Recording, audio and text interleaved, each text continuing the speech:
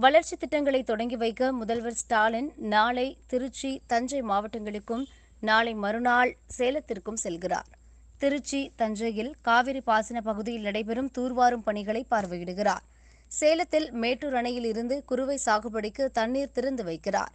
இந்த பயணத்தின் போது திமுக நிர்வாகிகள் உள்ளிட்டோர் தம்மை நேரில் சந்திக்க ஆர்வம் காட்ட வேண்டாம் என்று ஸ்டாலின் கேட்டுக் கொண்டுள்ளார் வரவேற்பு அளிப்பதற்காக வழியில் எந்த அலங்காரங்களும் செய்ய வேண்டாம் என்றும் தொண்டர்களுக்கு அறிவுறுத்தியுள்ளார்.